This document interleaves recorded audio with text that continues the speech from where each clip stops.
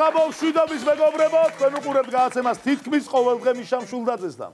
დღეს 4 დეკემბერია, 4 შაბათი და მიუხედავად იმისა, რომ ქვეყანაში ისევ საგიჟეთია, სამოქალაქო საზოგადოების უწყვეტ აქციებს ხელისუფლება საჯარო სექტორში დასაქმებული აგრესიული კრიმინალების კონტრაქციებით პასუხობს და ელჩების ინიციატივით გამართული პარტიებისა და ხელისუფლების მოვაპარაკებებიდანაც პროპორციული არჩევნების ეგრეთ წოდებულ გერმანულ მოდელზე შეთანხმების პერსპექტივას მაინც და მაინც ნათლად არ არის გამოკვეთილი.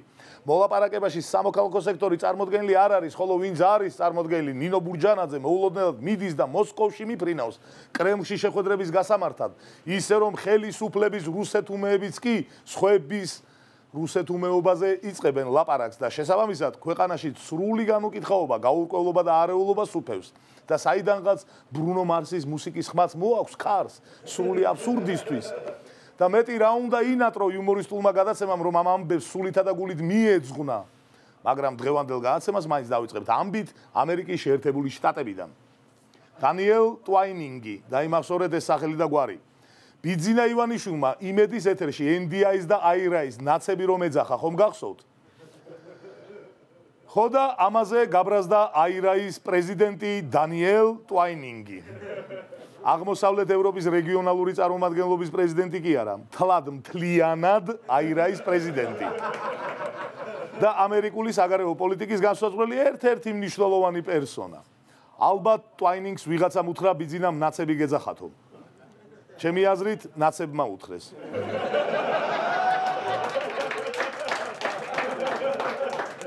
ტვაინინგმა განაცხადა, გასულ კვირას როცა საქართველოსი აირაი და NDI თავდასხმის ქვეშ აღმოჩნდნენ, აირაი ქართული ოცნების ახალგაზრდა ლიდერების ტრენინგს ატარებდა. აი, ამას ვაკეთებდით მაშინ, როცა თავს გვესხმოდნენ. ანუ ბიძინა აირაის ნაცებს რომ ეძახდა, მაგ მომენტში აირაი ფულს ხარჯავდა, რომ ოცნების წევრებისთვის რაღაც ესწავლებინა.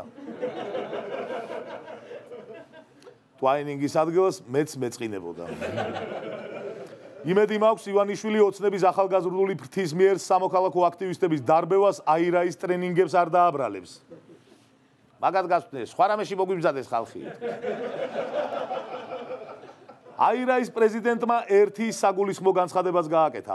როცა მთავრობა ამერიკულ არასამთავრობოებს ესხმის თავს, ეს როგორც წესი რუსეთში ან ჩინეთში ხდება. სადაც არ არსებობს პოლიტიკური თავისუფლება და დემოკრატიული პრაქტიკა. გასაკვირია, რომ ეს დემოკრატიულ სახელმწიფოში ხდება. კარგი ამბავი ისაა, რომ ტვაინინგ საქართველოს ისევ დემოკრატიული სახელმწიფო გონია. აი განცხადების შემდეგ ნაწილში კი ვერაფერს ვიპოვით პოზიტიურს. ვაშინგტონში ძალიან არიან გაკვირვებული ამით. განსაკუთრებით მას შემდეგ, რაც ამერიკამ ამხელა მხარდაჭერა გამოიჩინა საქართველოს მიმართ წლების განმავლობაში. ანუ რამდენიმე მილიარდ დოლარს გულისხმობს ალბათ, რითაც ამერიკა დაგვეთან დაგვეხმარა. როგორც ჩანს, ამერიკასთან მხოლოდ პოლიტიკურად კი არა, კაცობაში ჩავიჭერით. იმედია ხელისუფლება ტვაინინგის განცხადებებიდან სწორ დასკვნებს გამოიტანს. მაგრამ სამწუხაროდ აქაც ცუდი ამბავი გვაქვს. გამოქვეყნდა მოსწავლეთა შეფასების საერთაშორისო პროგრამის ბოლო კვლევა. რომლის თანახმადაც წაკითხulis გააზრებაში ქართველები ბოლოდან მეხუთეები ვართ მსოფლიოში. გვიჭირს მეგობრებო. მათემატიკაშიც გვიჭირს, მეცნიერებაშიც, მაგრამ წაკითხulidან შინაარსის გამოტანაში უბრალოდ კატასტროფა გვჭირს. ყველა სხვადასხვანაირად რომ კითხულობ ჩვენს კონსტიტუციას, ზოგი რომ ამბობს გერმანული მოდელი ეწინააღმდეგება კონსტიტუციასო, ზოგი სიძახის არ ეწინააღმდეგებაო. პოლიტიკური ვაჭრობა მეგონა. თურმე უბრალოდ კითხულობ და აზრი ვერ გამოგვაქვს. საკითხულიდან აზრის ვერ გამოტანაზე უარესი რა არის, იცით? ვისაც აზრის გამოტანა შეუძლია, იმათაც არ ვეკითხებით რა წერია ჩვენს კონსტიტუციაში. ოპოზიცია იძახის ეუთოს კითხოთ გერმანული მოდელი თუ ეწინააღმდეგება კონსტიტუციასო, მაგრამ მაიაც კიტიშვილმა განაცხადა. საქართველოს კონსტიტუცია არის ჩვენი კანონმდებლების შექმნილი. და ჩვენმა კანონმდებლებმა ყველაზე კარგად იციან რა წერია ჩვენს კონსტიტუციაში. აქცენტის გაკეთება იმაზე, რომ ეუთოში ან რომელიმე სხვა საერთაშორისო ორგანიზაციაში უკეთ კითხულობენ ჩვენს კონსტიტუციას, თვაც საფუძვლიანი არ არის. ანუ ცკიტიშვილმა ეუთომ რა იცის ჩვენ რა ჩავწერეთ კონსტიტუციაში? ისე ამ საკითხში მესმის ხელისუფლების. ხალხმა იწვალა კონსტიტუცია საკუთარ ინტერესებს მოარგო და ეხა ეუთომ უნდა უთხრას რა უნდა და თავის დროზე იგრისთვის რა ჩაწერეს. ცხადია, ამათ უკეთიციან. როგორც აღმოჩნდა, მხოლოდ წაკითხულიდან აზრის გამოტანაში არ გვიჭირს. დროშის აღმართვაც არ ყოფილა ჩვენი ძლიერი მხარე. ქუთაისის მერიამ დროშის აღსამართად ტენდერი მეხუთედ გამოაცხადა. შესყიდვის სავარაუდო ღირებულება 59959 ლარია. ახლა ერთხელ და სამუდამოდ შევეცდებით გაგარკვიოთ, რატომ ვერ ვკიდებთ დროშას. პირველი სამი ტენდერი თურმე ისე გამოცხადდა, რომ დროშის მოსაწყობ ტერიტორიაზე აუცილებელი პროცედურა ნიადაგის შესწავლა მერიას გავლილი არ ქონდა. ანუ პირველი ტენდერი კი არა, პირველი სამი ტენდერი შეიშალა.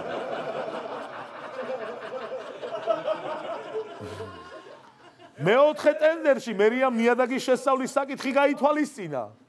მაგრამ ადგილობრივ ხელისუფლებაში ამბობენ, რომ ამჟამად ხელახალი ტენდერის გამოსაცხადებლად ემზადებიან. მოკლედ, მეოთხე ტენდერი რატომ ჩავარდა, ვერ გავარკვიეთ. ბოდიში ვერ გაგარკვიეთ. აქვე პატარა ისტორიული გადახვევა. 9 ძმა ხერხეულიძემ დროშის აღმართვისთვის სიცოცხლე გაწირა. ერთის დაცემის შემდეგ მეორე იღებდა დროშას და აღმართავდა და ასე დაიღუპა 9-ვე. ბოლოს მათმა დედამ აიღო დროშა და აღმართა. ხო და ახლა არაფერია საშიში. მეტიც 50000 ხდიან ზემოდან და ვინმე მოკიდე ამ საქმის ხელი. აღუმართო დროშა ქუთაისში. სანამ ჩვენ დროშას ვერ ვკიდებთ ლონდონში ნატოს საპარლამენტო ასამბლეა იმართება და ჩვენს გაწევრიანებაზე მსჯელობენ. სესიაზე სიტყვით გამოვიდა საქართველოს საგარეო საქმეთა მინისტრი დავით ზალკალიანი, რომელმაც გამოსვლა ასე დაასრულა: მუდამ გახსოვდეთ საქართველოს. სწორი მესიჯია, თუ გავითვალისწინებთ იმ ფაქტს, რომ ნატო 2008 წელს დაგვირდა, რომ საქართველოს გახდება ნატოს წევრი, პერიოდულად უნდა შევახსენოთ ხოლმე. საბედნიეროდ გვითხრეს გვახსოვსო. კიდევ უფრო საბედნიეროდ არ დაამატეს გადაგდება ჩვენი სტილი არ არის თქვენგან განსხვავებითო. კარგია რომ ნატოს ახსოვს 2008 წლის დაპირება, მაგრამ მაინც როდის გავხდების ნატოს წევრები? ეს კითხვა დაუსვით ხალხს ქუჩაში. მაშ ასე მეგობრებო, ჩვენი ქუჩის რუბრიკა, რას ფიქრობს ხალხი?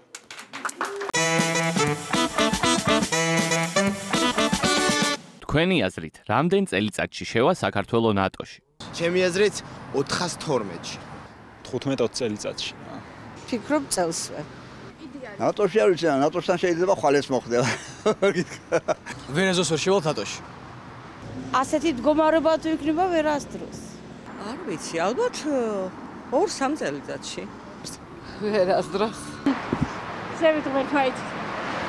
შემდეგი მთავრობა რომ მოვა, მინიმუმ 10 წელი მაინც გვინდა რა.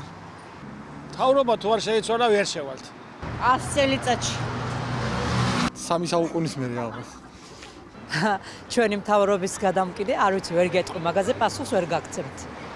ნატოში მინიმუმ 12 წელიწადი ალბათ ვერ. დაახლოებით 5 5 წელიწადში. ალბათ 1-20 წელი მაინც დაგჭირდება. სამართალი სანამ ჩვენ ქვეყანაში არ აღდგება სამართლიანობა ჩვენ ნატოში კი არა ვერსად ვერ შევალთ აი ასეთი ამბავია. ქუჩაში ხალხის განწყობაში მნიშვნელოვანი არის რომ ზოგი 5 წელს ამბობს ზოგი ამბობს წელსვე ზოგი 12 300 400 ბევრმა სხვადასხვა რიცხვმა გაიჟღერა.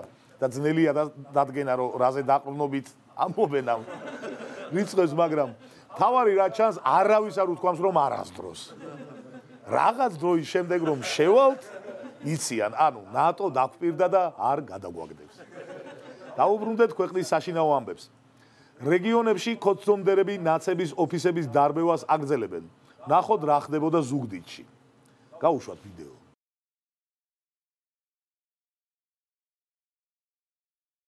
იმედია ეს ადამიანები ზუგდიდის დასუფთავებისა და კეთილმოწყობის სამსახურის თანამშრომლები არ არიან თორე ეს სრული სიგიჟე გამოდის მაშინ.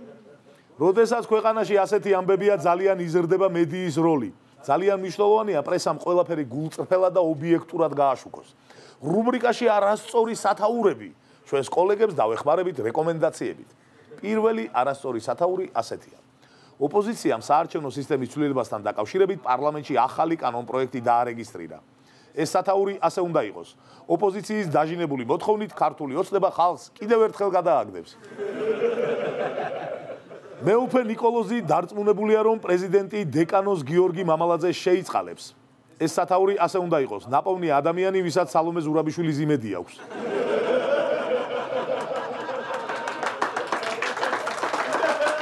გაფიცვის გამო 5 დეკემბერს საფრანგეთში სარკინიგზო რეისების 90% გაუქმდება. ეს სათაური ასე უნდა იყოს. ფრანგი ნაცები საფრანგეთის ეკონომიკის ჩამოშლას ცდილობენ. 2019 წლის 9 თვეში მთავრობის სამივლინებო ხარჯები 282%-ით გაიზარდა. ეს სათაური ასე უნდა იყოს. მთავრობის სამივლინებო ხარჯები 280%-ით გაიზარდა. ანუ თალაკვაძის კომოსტბაზე წასვლა არ ითვლება რა. არ დავაცადეთ კაცგულაობა, ეგრევე გამოვაქციო. მონოლოგის ბოლოს კი ჩვენი ტრადიციული ოთხშაბათის რუბრიკა, რომელსაც ხანდახან ორ შაბათს ვაკეთებთ ხოლმე და ხანდახან სამ შაბათს. ჩვენი მოგონილი ჭორები. შეგახსენებთ, რომ ნებისმიერი დამთხოვა შემთხვევითი იქნება. პირველი ჩვენი მოგონილი ჭორი ასეთია. ბიძინა ივანიშვილმა უკვდავების წყალი გაყიდა და უფრო მაგარი რაღაც იყიდა.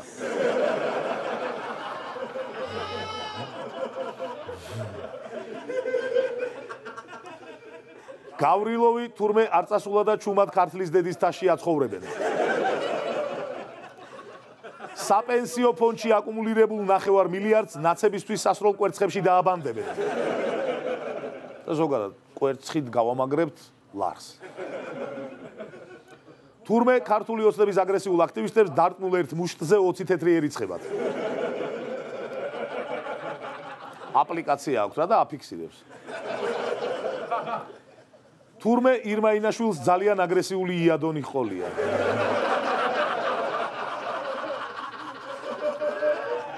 თურმე ემზარკვიციანს ლაპარაკი საკუთარმა თუთიყუშმა ასავლა. თურმე სინამდვილეში ნინო ბურჯანაძე რუსეთში მანდარინის გასატანად არის წასული. ანუ ბიზნეს ტრიპია რა. თურმე ბიზინა ივანიშვილი მამუკა ხაზარაძეს და ბადრი ჯაფარიძეს ერთმანეთისგან ვერ არჩევს და ამიტომაც იჭერს ორივეს. დღეისათვის ეს იყო ჩვენი მოგონილი ბოლო ჭორი მეგობრებო დავბრუნდებით სტუმართან. საქართველოს ყველა დროის ყველაზე პოპულარულ პოლიტიკოსთან გამოკითხების მიხედვით დავით ბაქრაძესთან ერთად.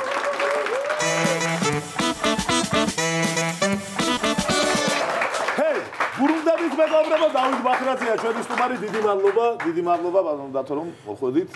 მოდით დავიწყოთ მიმდინარე მოვლენების მიმოხილვით. რა ხდება? თქვენ რა მოლოდინი გაქვთ? თქვენ ინფორმაცია არ ხართ ჩართული ხო პარლამენტის თავმჯდომარეების ფორმატი რო ერქვა ადრე და მე რო მე რო უცბად გაახსენდათ რომ კაკუასათიანის ხო პარლამენტის თავმჯდომარე იყო კაცო და მე ვიცე-სპიკერები იყვნენ, როგორც მივხვდი, ირმაინაშვილი ვიცე-სპიკერის სტატუსით იყო იქ და თუ სპიკერი ვიცე-სპიკერი, ოკეი, გასაგები. მოკლედ, საინტერესო ფორმატია და თქვენ კი, ძალიან საინტერესო ფორმატია. პირველ რიგში მადლობა და მიხარია რომ თქვენი გადაცემის სტუმარი ვარ. მართლა ძალიან კარგი გადაცემის და იმედი მაქვს რომ იმედი მაქვს რომ ჩემი მოსვლით არ გავაფუჭებ იმ კარგ განწყობას რომელიც გვერდშეკავებით უკვე მონოლოგის პოზიტიური მოლოდინი გვაქვს. აი ხოლო პოზიტიური თუ გაქვთ, მაშინ მეც კარგი ამბით გამოეხმაურებით თქვენ პირველ კითხვას, რომ არა, იქ არ ყოფილ ვარ. შენი არა, არ ვიყავი, იმიტომ რომ იმ დღეს არ ვიყავი საქართველოსში და ჩემი ღირსეული წარმომადგენელი მივავლინე. რომელიც აშკარად ჩემზე მეტად მოუშლიდა ნერვებს იქ ხოფ კოცებს გიგაბოკერია ესწრებოდა შეხვედრას. ასე რომ ასე რომ კი ბატონო რამდენად პერსპექტივით უყურებთ ამ ფორმატს როგორ როგორ ფიქრობთ? არის იქიდან მზაობა რომ რამე შეიცვალოს მიიღონ თუ მართლა კიდევ ერთხელ უნდა? ეხა ეს ამაზე უნდა ვიხუმრო თუ სერიოზულად გიპასუხოთ და ხანდახან ამაზე სერიოზული პასუხი მე მგონი ხუმრობა გამოვა თავის თავად ემთხვევა ხოლმე ერთგვარად ემთხვევა ხოლმე და ამიტომ ხუმრობა არის რომ კი რა თქმა უნდა იმედი მაქვს რომ იქ ყოფი ქართული ოცნების წარმომადგენლები ისეთები როგორც მაგალითად ქალბატონი წულუკიანია აუცილებლად გაიზიარებს ხალხის მოთხოვნას და დაგვეთახმება ოღონდ ეს ძალიან უაზრო ხუმრობა იყო.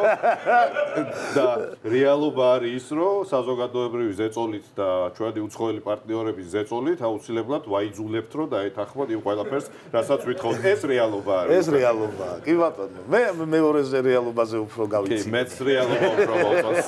ჩემი ასარჩევი რომ იყოს რაზე გავიცინო ამაზე უფრო გავიცინო კარგი რა შეიძლება დაუპირისპიროს საზოგადოებამ ან რა მოიფიქროთ იმის წინააღმდეგ, რასაც ხედავთ გულისხმობ რეგიონებში ამ საშინელ კადრებს, მივარდნებს, შეურაცხყოფებს, აგრესიას, აი რა რა უნდა ქნას ასე დროს საზოგადოებამ? საზოგადოებამ უნდა ქნას ის, რაცაც შვებოდა წინა შემთხვევებში და ყველაზე მეტად ეს სიტუაცია მაგონებს დასლად აბაშიძეს და საქართველოს უახლეს ისტორიაში ერთადერთი ადამიანი იყო, ხო? იყო შევარდნაძე, რომელსაც თავისი ბევრი მინუსი ჰქონდა, მაგრამ არასდროს არ წასულა იმაზე, რომ ასეთი ფორმით დაპირისპირება გამოეწვია. ხარდამჭერების დაპირისპირება ეს იყო მიხეილ სააკაშვილი და ჩვენი ხელისუფლება, რომელსაც ასევე ბევრი მინუსი ჰქონდა, მაგრამ არასდროს არ წასულა იმაზე, რომ ასეთი ფორმის დაპირისპირება და კონფლიქტი გამოეწვია. ბეგაშვილს მახსოვს, მაგრამ აი აი რიკვეთა მაშინ და ჩინეთში მიევლინა სასტრაფოწესით ელჩატში. ელჩატ. შვედიერი დაჟა ესე, დაჟა კარგი იცოდი თქვენ. კი, შვედიერი. შინაურების დაჟა თქვენს კარგი იცოდი და ამათაც კარგი იციან. ზაქრო კუცნაშვილს კარგ სამსახურს აძლევენ თურმე. 15000 ლარი ექნება ხელფასი ნორმალურია ეხლა. კი, არა უშავს. გავლენას ჩამოყვანაში არა უშავს პრინციპში, ხო.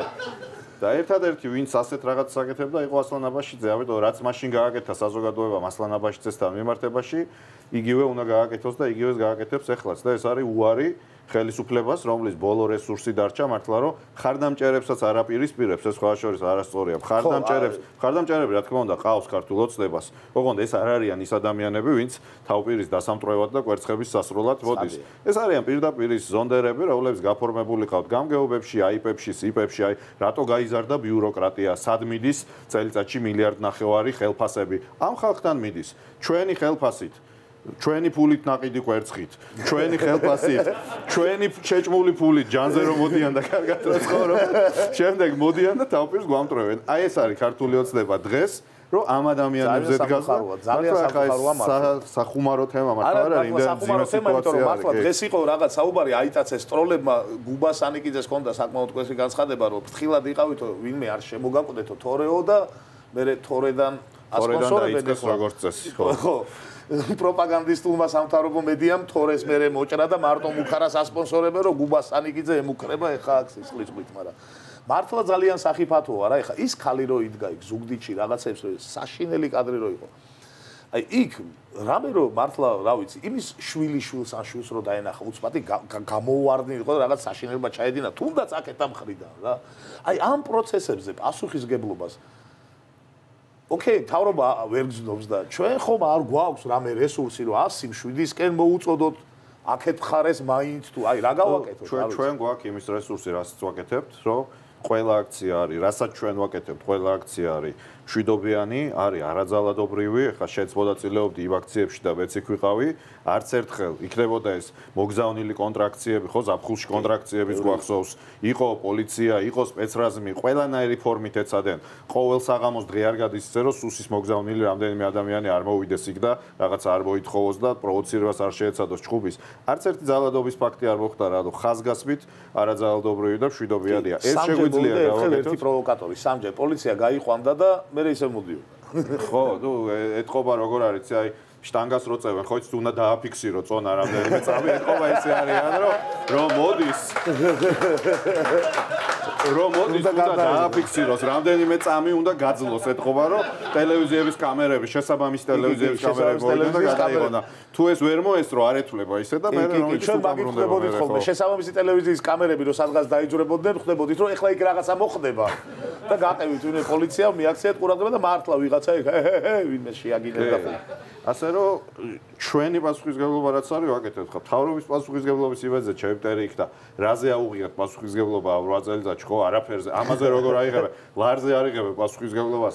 ხან თურქეთის ბრალია ხან რუსეთის ბრალია ხან დოლარი მყარდება ხან დოლარი ეცემა ხან აქციებია ხან ოპოზიცია ყველას და ყველაფრის ბრალია გარდა მათი. ამიტომ მათი პასუხისგებლობის იბეძა იქ და შევიტყვი, ხალხმა უნდა გამოიჩინოს პასუხისგებლობა, ჩვენ უნდა ვიყოთ პასუხისგებლიანი და მშვიდობიანად და არაძალადობრივად უნდა გაუშვათ ესენი სახში. ხა ვერც ხუმრობ ისეთ თემაა, მაგრამ ძიმი ამ თემაზე ხუმრობა რა უნდა მოვიფიქრო რა გითხრათ. შედარებით მსუბუქ თემაზე გადაგიყვანთ. დაუშვათ, გაუშვით ბიძინა ივანიშვილი სახში, წავიდა არჩევნებში დამარცხდა თუ როგორც მოხდება და მე რა ხდება? და შენ თვლი რომ ეს მსუბუქ თემაზე გადავიდეთ. ხო, შედარებით მსუბუქსეთ ხო ეხა. მსუბუქი თემები აღარ დარჩა საერთოდ ქვეყანაში, რა ვიცი. ხო, მსუბუქი თემები აღარ დარჩა. სხვა და შორის ხა აქ ლაპარაკი იმაზე კი არ არის, ამ აქციების მოთხოვნა ის კი არ არის, რომ აი ივანიშვილი გადადექი. ამ არჩევნების ამ აქციების მოთხოვნა სამართლიანი არჩევნები ჩავატაროთ. გინდა რომ არჩევნები მოიგო, გონია რომ ხო იცახის რომ 60% მხარს მიჭერს და 60% მხარდაჭერა მაქვს. გონია რომ ხალხი მხარს გიჭერს, მოდი ჩავატაროთ სამართლიანი არჩევნები, ნორმალური არჩევნები და ნახოთ ვინ ვის უჭერს მხარს და ვირავდე პროცესს აიღებს. ამიტომ განსხვავებით წინა ხო გახსოვთ აი წინა წლებში ოპოზიციის აქციები რო იყო ხოლმე, პირდაპირ დეკლარირებული მიზანი რა იყო, უნდა დავამთავროთ ხელისუფლება. აი გამოვიდოდნენ აპრილში, იტყოდნენ მაისში ხელისუფლებას ვამთავრებთ. გამოვიდოდნენ ოქტომბერში, იტყოდნენ ნოემბერში ხელისუფლებას ვამთავრებთ. ჩვენ ამას ხო არ ვიძახით. ჩვენ ვიძახით, რომ სამართლიანი არჩევნები ჩავატაროთ და ხალხს მიუცეთ არჩევანის საშუალება. ამიტომ ამ შემთხვევაში აბსოლუტურად სხვა სიმაღლეზეა ეს აქციები, თავისი არაძარადობრიობით, თავისი მშვიდობიანი ხასიათით, ახალგაზრდების ჩართულობით და არასდროს ხა 30 წელი გავიდა პირველად რაც რუსთაველზე ვიყავი 88 წლის ნოემბრის აქციები რო დაიწყო იმისფერე ყველა აქცია ნანახი და უმეტესობაში მონაწილეობა მიმიღია რუსთაველზე ამდენი ახალგაზრდა მე იქ არ მინახი არასდროს სამოქალაქო სექტორის ასეთი ჩართულობა აქტივისტების ასეთი ჩართულობა არ მინახია ეს ყველაფერი ახალია საქართველოს ეს არ ყოფილა ამდენი პარტია რა თქმა უნდა ეს არის საქართველოს ხვალინდელი დღე ბევრი პარტია რომელიც ერთმანეთთან მართლა ძაღლი და კატასავით იყო და რომელაც საერთო ენა მოძებნა, იმიტომ რომ ქვეყანა სჭირდება სამოქალაქო აქტივიზმი, რომელიც მუდმივად იყო გადაკიდებული პარტიებთან და საერთო ენა მოძებნა, იმიტომ რომ ქვეყანა სჭირდება ახალგაზრდები, რომლებსაც სჭირდათ პოლიტიკური ნიჰილიზმი და დღეს ქუჩაში გამოვიდნენ, იმიტომ რომ ქვეყანას ასე სჭირდება შვიდობიანი აქციები, პასუხისგებლიანი მოთხოვნები. ეს არის ამ ქვეყნის ხვალინდელი დღე და ამ ხვალინდელ დღეს ივანიშვილი და ოცნება უპირისპირებს ჩვენი ქვეყნის გუშინწინდელ დღეს, ასლან აბაშიძეს. აი ეს არის განსხვავება დღეს იქ ქუჩაში დგომ ადამიანებს და ქართულ ოცნებას შორის და თუ ჩვენ ასლან აბაშიძის გუშინწინდელმა დღემ ჩვენ ხვალინდელ დღესაჯობა, მაშინ მართლა მომავალი არ ქონია ამ ქვეყანას და როგორც დაგკვირდა ივანიშვილი 35 ევროიან ბილეთებს აგაღებიებთ და წაჯს უყველა ევროპაში თავს მიხედეთ, მაშინ ის დროა რომ ასე მოვიქცეთ. ამიტომ ეს არის წარსულის და მომავლის შეჯიბრება. წარსულს და მომავალს შორის. მომავალი იმარჯოს აუცილებლად. შვენიერი, შვენიერი ლაპარაკი იცით, ბატონო დავით, დააღნიშნო და აა გადავიდეთ ამიტომ შემდეგ თემაზეც რა. ყველა კვლევაში დათო ბაქრაძე არის ყველაზე მეტად რომ მოწონთ ასეთი პოლიტიკოსი. რამდენი წელია უკვე, დიდი ხანია, ხო? მაგრამ მე არ ხდება ხოლმე აი ამის ასე ვთქვათ საარჩევნო ხმებში შესაბამისი გადაცვლა და რა ხდება როგორ როგორ ახსნით თქვენ თვითონ ამ ამბავს? ამის სასახსნელად ხა მე ვერაფერს ვერ მოიგოებ იმაზე უკეთეს ვიდრე ერთხელ შალვან ათელაშვილმა თქვა და დავესესხები, ვაღიარებ რომ ეს მისი საავტორო უფლება და დავესესხები. შალვა ათელაშვილმა კარგი რაღაცების თქვა იცის რომ მე რაღაცების თქვა იცი და აი შალვას მოყოლილი ისტორია რომ ერთ-ერთი არჩევნების მერეო რომელიც აი დაუნდობლად წააგო, რა ძალიან პატარა პროცენტი აიღო და სადღაც ქუჩაში მივდივარო და უცებ ვიღაც ქალბატონი მეცაო რომ ვაიმე ბატონო შალვა თქვენ რო მიყვარხართ და თქვენ როგორ მიყვარხართ და როგორ და რა და აი ძალიან გაბრაზებული ვარო, იმიტომ რომ ახალი წაგებული მაქვს არჩევნები, დანახვა არ მინდა არავისო და ნუ გაუღიმე მაინც ამ ქალსო რომ მადლობა ხალი მეუბნება მიყვარხარ და მადლობა და ხმა ხო მომეცით ქალბატონო და შევხედაო და უიო ვერაო, იმიტომ რომ რაღაც საჯარო მოხელე ვარ რაღაცა და ხმა ვერ მოგეცითო და შალვა შე ქალბატონო მე გიყვარ ვარ და სხვა საძლევთ რანაირი სიყვარული გოდა ეს ეს ამ შემთხვევაში ამ შემთხვევაში შალვა და თელაშვილის ციტატა მომყავს ხო ნუ აქ უფრო ის არის რა ქვია. დავარქვათ ამას მოწონება. სიყვარულზე ცოტა პატარა არის რა იქაც ეს რომელი მოგწონთ დათო ბაქრაძე ამბობენ და მე მედიან და ხმას ну 10-12% ეხლა ცოტა არ არის და რამდენიც აგიღია ცოტა მართლა არ არის, მაგრამ იქ 57 და ესეთი ციფრები რო არის ხოლმე. ხო, ну ამ შემთხვევაში. მაგრამ ერთი კარგი რამე არის ეს. ერთთან რო წამეგო, ხმას არ ამოვიღებდი და ერთში ამ შემთხვევაში სალობე ზურაბიშვილს გულისხმობ არა აი ორთან ანუ ზურაბიშვილს პლუს კარტოფილთან წავაგე და არა უშავს არა უშავს ესე კონკურსი ძნელია ну ისეთი რამე არის რა მაღალი ცნობადობა სხვათა შორის და ბევრ ხალხს რომ მოსწონხართ ეს იმას ნიშნავს რომ ნებისმიერ დროს შეგიძლიათ წაბახვიდეთ შოუ ბიზნესში მადლობა. სულ არის ეგ ვარიანტი რა. მადლობა, პრინციპში შოუ ბიზნესში ვარ ხო, სხვადასხვის ძალიან შორსაც არ დგარ. რომ მეტი შოუ ბიზნესი იყოს თქვენთან, ვიდრე პარლამენტში შოუ ბიზნესი არ ვიცი, არა, მეც მეც ვერ დავდებ თავს. შოუ ბიზნესში. და თან სხვადასხვის იუმორისტული განხრის შოუ ბიზნესში ვარ. პარლამენტში ხო? კი, კი, აშკარად. რა ხდება ახლა პარლამენტში შემდეგი სხდომა როდის არის? შემდეგ ცდომა იმ კვირაში. იმ კვირაში რის გაფუჭებას აპირებენ? სერიოზულ გაფუჭებას აპირებენ, იმიტომ რომ მოსამართლეების სია გაქვს დასაკითხებლად. და აი პირდაპირ აი ამ ცეცხლზე რო პირდაპირ ნავთი დაასხან, ესე იგი შეშა დააყარონ მეთქი ვეღარ ვიძახი, იმიტომ რომ აქედან შეშა გახდა რაღაც კრიმინალის და კრიმინალის საფათო სიტყვა ხო და შეშა არა, მაგრამ აი ცეცხლზე ნავთს ასხავენ პირდაპირ, ფაქტიურად ამ სიტუაციაში კიდე მოსამართლეების დამტკიცება უნდათ. კი ბატონო, ჩვენ მეგონი დაანონსებული გვაქვს მაგ დღისთვის, ხო, დიდი აქცია და იქიდან მიღრიალებთ ერთსაც გამოვალთ დაახლოებით 12-14000 ადამიანი როგორც გამოდივართ ხოლმე, როცა ძალიან ბევრნი ვართ. სხვადასხვა ეს ეხლა გახდა 14000 თორე ადრე ოპოზიციის აქციებზე მაგას ერქვა ხოლმე ასეულობით 1000 ადამიანი. კი, მახსოვს, მახსოვს. კი. ეს იყო დრო, როცა რუსთაველზე პარლამენტის შედობის წინ ეტეოდა 70-80000 ადამიანი. ეს ეხლა გახდა ისე, რომ ამ გაჭირვებაში რა მოგვივიდა ამ ქართველებს, არ ვიცი რამ გაგვასულა. შენ ჯვარი წერია, მაგრამ იქ ადრე 70000 კაცი სადაც ეტეოდა, ეხლა გვეუბნებიან 5500 კაცი ეტევა, მეტი არაო, ხო და ასე რომ რაღაც უცნაური. მე სულ თავაზობ ხოლმე იქიდან, რა ქვია, გამოსვლების დროს აქციიდან იმედის და პირველი არხის დრონს რო ძალიან შევიდა რა ფრინდნენ. ახლოს იყვნენ და სამაგიეროდ ჩვენც არ მოვიტყუებით რომ 120.000 ვარ. ნელ-ნელა გადავდგა და თქვენისკენ ნაბიჯები შუაში ხო შევთანხმდით რა 5500-ო თანისი ამბობები თვითონ ცოტაა 5500 კაცი. არა ეგ რაღაც 5500 კაცი უამრავი რაოდენობა ადამიანებისა. არა ეგ რაღაც საკრალური რიცხვია, იმიტომ რომ მე რა მახსოვს, ცაი ჩვენ დროს როცა ოპოზიცია აქციებს ატარებდა და მართლა დიდი აქციებიც ხო ტარდებოდა, ანუ რო იყო აქცია სადაც თქვა 25-30000 კაცი გამოდიოდა და ხა აქციას პარლამენტის ფანჯრებიდან რაც რეაქციებისთვის ვაქვს ნამდაყურები ხო? ერთი შეხედვით შემიძლია შევატყო არც ფართობის დათვლა ჭირდება არც თავების პირდაპირ რო უყურებ. ზუსტად ვატყობ რამდენი ადამიანია და აი ჩემი შეფასებით რო იყო ხოლმე სადღაც 30000 ადამიანი მართლა ძალიან დიდი აქცია რო იყო საღამოს სუსიდან მოდიოდა ანგარიში რომ აქციაზე იყო 5500 კაცი. და ეთყობა იგივეები ითვლიან. ეხა ჩვენ დროს ვინც ითვლიდნენ და ეს ეს 5500 რაღაცა საკრალური რიცხვია რომ ამის ზევით არ შეიძლება. ხო ხო ხო. ის ირაკლი კობახიძე რას გვიკეთებს ეთყობა რაღაცა დათვლილი აქვს რომ 5500-ზე მეტი თუ მოდის საშიშია. რაღაცა ეთყობა აქვს და ჩვენც მაგას გვეუბნებოდნენ. ეხა ამათაც იგივე ხალხი ითვლის და და რო ეთყოთ ხოლმე როგორ იყო 5500 კაცო უყურებდი ჩემი თვალით და იყო 25000 არა თავებით გვაქვს დათვლილი. ეს იყო ხოლმე პასუხი და აი ხა ზუსტად იგივე ხალხი სუსში იმავე სუსში იგივე ხალხი. თავებით ვინც ითვლი და აი ესე თავებით გითვლი არ ეხა და ჩვენც 5500 ვართ. კი ბატონო ნორმალურია 5500 მე არ მარ საწინააღმდეგო რა. 5500 კაცთან ერთად ძალიან ბევრი რამის გაკეთებ. ერეკლე მეფეს მაქელაჯარი ყავდა. არ ყავდა არც ერთხელ არ ყოლია მაგრამ საქართველოს გააერთიანა თითქმის კახეთი. ოკეი. კლაც, კლაც, ნუ შევედრებით, იმიტომ რომ ის ბოლო 5000-ი ცუდად მახსოვს. ხო, ხო, ხო, ბოლოს კაცი ბოლო 5000-მა ვერ უშველა და ამიტომ ჩვენ ჩვენ ისე 14-ს მივაწვევთ. ირაკლი კობახიძეს აქ როგორი ისა, იცი თამაში? რაღაცა რო არ მოეწონება ხოლმე წინა დღეს რო რაღაცას ვიტყვით. მე გვაკლებს რაოდენობას ყოველ შემდეგ ჯერზე რა. ეხლა არის ბოლოს არის 198-ზე არის ჩამოსული. 198 კაცი რა სიტყვის?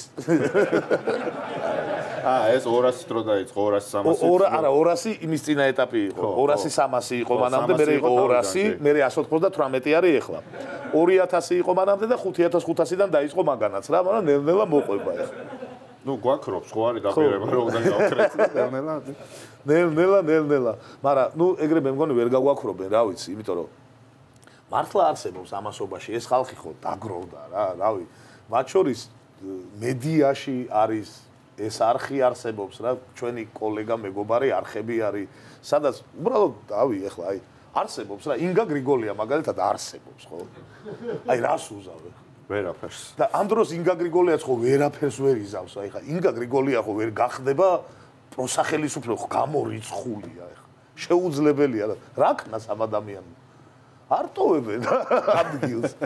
ხო და მე ვფიქრობ რომ სადღაც სადღაც სადღაც რა ზუსტად ვიცი სადღაც არჩევნების დღე არის მთავარი სამიზნე ვფიქრობ თელი სამოქალაქო საზოგადოების და კვლევებში რაც ამოდის კიდე ერთი მნიშვნელოვანი 90% ამბობს რომ წავა არჩევნებს აი ასეთი ეხა მართლა 90 ალბათ არ წავა ამბობენ მაგრამ არასოდეს არ ამბობს ხოლმე ამდენი ხალხი და ალბათ ყველაზე ისეთი არჩევნები იქნება კი სხვადასხვა ეს იცვლება აი თუ თქვა 90-იანებში 2000-იანებში იზომებოდა უკმაყოფილება ქუჩაში გამოსვლით დღეს სხვა დრო დადგა ანუ ადამიანი შეიძლება ქუჩაში აღარ გამოვიდეს მაგრამ არჩევნებზე მოვიდეს და ეს საპრეზიდენტო არჩევნებმა გვაჩვენა მათ შორის რომ საპრეზიდენტო არჩევნების წინას დიდაქციებს ოპოზიცია ვერ ატარებდა მაგრამ რამდენი ხმა ოპოზიციას არ ვიუღია არასდროს. და ავასწილად ერთი ახალგაზრდა დამემგზავრა ადრე თვითფრინავში დამემგზავრა რა და რაღაც გამოველაპარაკეთ და ძალიან თანამედროვე ახალგაზრდა აღმოჩნდა და ვითხარ რომ ესენიო თავრობას გულისხმობდა. როგორ ითვლიანო? იცი და აი აქციაზე გამოსულ ხალხს რო ითვლიანო? აი ხა ხო თბილისში ხო ძალიან მოდაში არის საჭმლის გამოძახება სახში გლოვო ვოლტი და ასე შემდეგ. ანუ ეხლა რო დათვალო რამდენი კაცი შედის თბილისში რესტორანში და თქვა რომ მარტო ამდენი კაცი ჭამს საჭმელსო ხო ამიტომ რომ რაც რესტორანში შედის ორი იმდენი სახში იძახებს და იმ ეპოქაში როცა სოციალური ქსელებია ფეისბუქია უკმაყოფილების გამოხატვის ძალიან ბევრი სხვა გზა არის და ადამიანები არჩევნების მნიშვნელობას ხვდებიანო აღარ იზომება უდაგროვილი უკმაყოფილება აქციაზე მოსული ადამიანებით, იზომება სოციქსელებით, იზომება არჩევნებით და იზომება სხვა რაღაცით და ესენი ისევ თავებს ითვლიან აქციაზეო და მომეწონა იცი ზღარაშორის მე არ მეფიქრია ასე და სწორი იყო ის ახალგაზრდა რომ მართლა ეხა თუ დათვლი რამდენი ადამიანია რესტორანში. ხო არ შეიძლება თქვა რომ დღეს ამდენმა ადამიანმა ისადილა იმიტომ რომ რესტორანში ამდენი კაცი იყო ხო? 10 იმდენი სახში სადილობს. ბევრად მეტი იმდენი გამოძახებით იძახებს. ხო ანუ სხვა ეპოქაში შევედით და ამიტომ იმის თვლა რამდენი კაცი დგას აქციაზე, ესეც царსულია და ესეც არა მოუჭრათ ამ გააცემიდან, იმიტომ რომ ეგრე იწოდნენ რა. გოცებს ეგონოთ რომ ცოტანი ვართ. დაიმშვიდონ თავები. ა ესე იგი მომავალზე მაინც არ მეუბნებით. სხვა შორის გიგი უგულავა მყავდა სტუმრად და იმანაც ისე მითხრა მომავლის თემაზე, რომ არ ვიცითო და იცი და მინდა შემოგთავაზო მესმის რომ გიგაბოკერიამ ილაპარაკა ერთ-ერთ ეთერში რომ ჩვენო პირველ ადგილზე ისეთ კოალიციას გავაკეთებთ რომ პირველ ადგილზე ჩვენ თვითონ გავალთო და ეხლა რატო ვილაპარაკოთ რას? დაუშვათ ევროპული საქართველოს გავიდა პირველ ადგილზე შემდეგ არჩევნებში რა. შინაგან საქმეთა მინისტრი ვინ იქნება ჭრდილოვანი კაბინეტი წარმოგიდგინოთ? სხვა შორის მაგაზე მართლა ვუშაობთ, ოღონდ. იმიტომ რომ მნიშვნელოვანი გირჩის ისიც იცით ხო, ინიციატივა რო ვიცი. ვიცი და ეგ ძალიან მნიშვნელოვანი თემაა, ოღონდ სიტუაცია ძალიან შეიცვალა ბოლო პერიოდში. ჩვენ მართლა ვაპირებდით პროგრამის წარდგენას დეკემბერში და პროგრამა უკვე პრაქტიკულად გამზადებული ქონდა. ვაპირებდით ჭრდილოვანი კაბინეტის პენსიებს აუცილებლად კი. ვაპირებდით. ხო რა გიდა? 50-50 ლარში კი გავაზდევიეთ. 20 ლარით და ვინც საფხულამდე მიაღწევს 30-ით კიდე გაუზდიან მაგრამ ვაპირებდი ჭრილოვანი კაბინეტის წარდგენასაც მაგრამ ეხა ამ სიტუაციაში ეს შეიცვალა და ამ სიტუაციაში თუ ხელისუფლება არ დათმოდა ამ სისტემით გავედით არჩევნებზე ოპოზიციას თლიანად თელ ოპოზიციას გვეყოლება შეთანხმებული მაჟორიტარები გვეყოლება შეთანხმებული გეგმა და მათ შორის გვეყოლება შეთანხმებული ჭრილოვანი კაბინეტიც. ამიტომ ახლა ცალკე პარტიულად საუბარს უბრალოდ მართლა აზრი აღარ აქვს, აზრი ეკარგება, თუმცა ამ ერთობლივ ჭრილოვან კაბინეტში თუ მომავალ კაბინეტში რაც იქნება, რა თქმა უნდა, გათვალისწინებული უნდა იყოს მათ შორის ის შიშები, ზოგჯერ სამართლიანი, ზოგჯერ უსამართლო, მაგრამ არსებული შიშები, რომელიც ჩვენ მოსახლეობაში არსებობს და წარსულის გამოცდილება. ჩვენი პოზიცია იქნება ეს, თუ ამას დაჭirdება, რომ მათ შორის ჩვენი პოლიტიკური გუნდის წარმომადგენლებმა რაღაცისგან თავი შევიკავოთ და რაღაც თავადებაზე უარი ვთქვათ, აბსოლუტურად პრობლემა არ არის, იმიტომ რომ დღეს თავარი ამოცანა არის. ჩამოვაშოროთ ქვეყანას ქართული ოცნება და ქვეყანამ გააგზავნოს პროდასავლური გზით გავითარება და ნორმალურ ქვეყანაში არ იყო ministri, ბევრად უკეთესია ვიდრე ჯანგრეულ ქვეყანაში ministri იყო, ამიტომ საერთოდ პრობლემა არ გვაქვს ამასთან დაკავშირებით. ბატონო, მშვენიერი დასკვნითი წინარება იყო მომეწონა რა. ჯობს ნორმალურ ქვეყანაში არ იყო მინისტრი, ვიდრე ცუდ ქვეყანაში იყო მინისტრი. მართლა ჯობს. მართლა ასია. მგონია სადღეგრძელო გამოხდი. ჩვენი არის სადღეგრძელოა. წარმატებებს გისურვებთ. ბატონო დავით, წარმატებებს გისურვებთ, იმიტომ რომ მართლა ძალიან მნიშვნელოვანი არის, რომ ახლა მართლობის მეორე ვადის ბოლოს ადამიანს, რომელსაც აქვს ფულიც, სრულად მთელი სახელმწიფო აქვს და თან ბინძურად გვექცევა რა, პირდაპირ თქვა, ბინძური თამაშის წესებით თამაშობს. ეს სათამაშო უნდა ჩამოერთვა ჩემი აზრით, ეს არის მნიშვნელოვანი და მომავალში რავი, ფიქრობ რომ ამ ქვეყანას აქვს იმხელა ინტელექტუალური და ადამიანური რესურსი, რომ რავი, რამდენიმე მთავრობა შეუძლია ჩემი აზრით, რომ ყავდეს ერთდროულად და ერთს როგორმე დავაკომპლექტებ ისე რომ ადამიანების შიშებიც იყოს გათვალისწინებული და ამ ქვეყნის ინტერესების და მათ შორის ალბათ გათვალისწინებული უნდა იყოს პარტიების მხარდაჭერაც რეალურიც რაც აქვს მოსახლეობაში. ესეც ბუნებრივია ყველანი ხვდებით ამას. მულტიოპციონალიზმი არ უნდა დაგვაბნიოს მოკლედ როგორც ქართულ სუფრაზე რო უკვეთავთ ხოლმე ხო მულტიოპციები არის ორი რა ყველი, კიტრი პამიდურის სალატსაც უხდება კიდე სხვა რაღაცას. აი ეგრე უნდა დავალაგოთ. აი აბსოლუტურად ძალიან კარგი შედარება და რელევანტური, აი ხო წარმოიდგინე რომ წარმოიდგინე რაც არ უნდა კარგ სუფრაზე იყო, აი მარტო მწვადი რო გაჭავო, რომ მოგისაჯანო, აი მარტო მწვადი უნდა ჭამო თავი და ბოლო მე ვერ ვერაფერია რა, ქართული სუფრა ერთ კერძზე არ ტრიალოს. ხო. მრავალფეროვნებაში მრავალფეროვნება და კომბინაცია მრავალფეროვნებაში და კომბინაციაში. აი ეს არის სწორი პოლიტიკა, რა თქმა უნდა და საქართველოს მომავალს რაც შეეხება, შეიძლება წაკითხულიდან შინაარსის გამოტანა გვიჭირს ქართველებს როგორც წეღად აღნიშნე, მაგრამ თვითონ წერა არ გვიჭირს და ამიტომ წერა გვიყვარს. ნიჭიერი ადამიანები ძალიან ბევრი გვყავს. თვით გამოხატვა ძალიან გვიყვარს. კი, თვით გამოხატვა გვიყვარს. ნიჭიერი ხალხის ბევრი გვყავს და მართლა ერთი კი არა, ხუთი მთავრობა შეიძლება დაკომპლექტდეს, ოღონდ სწორი გარემო გჭირდება. სწორი თამაშის წესები გჭირდება.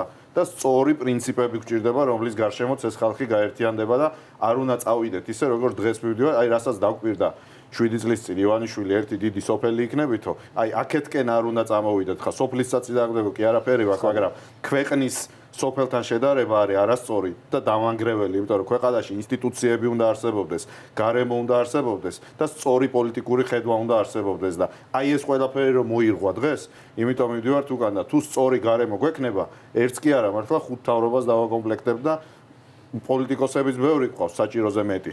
ექიმებიც, იურისტებიც და საერთოდ კაი ხალხი ვართ ჩვენ, მაგრამ ნორმალური მიმართულება და გზაზე დაკარება გვინდა და გაგვიმართოს, გაგვიმართოს. ღმერთმა ხელი მოგვიმართოს ყველა კარგ საქმეში. ძალიან დიდი მადლობა. დიდი მადლობა. და წარმატებებს გისურვებთ ბატონ დათო. წარმატებებს ცალსახად, იმიტომ რომ ფიქრობ რომ აა საერთო წარმატება იქნება თქვენი წარმატებაც, თქვენი წილი წარმატებაც საერთო წარმატებაში აუცილებლად იქნება გათვალისწინებული პროპორციული. დიდი მადლობა დღეისათვის მეგობრებო ეს იყო დღეს დამშვიდობების ხუმრობა არ გვაქვს იმიტომ რომ გუშინ გითხარით ორი. შევხვდებით ერთმანეთს ხო 23 საათზე ფორმულაზე.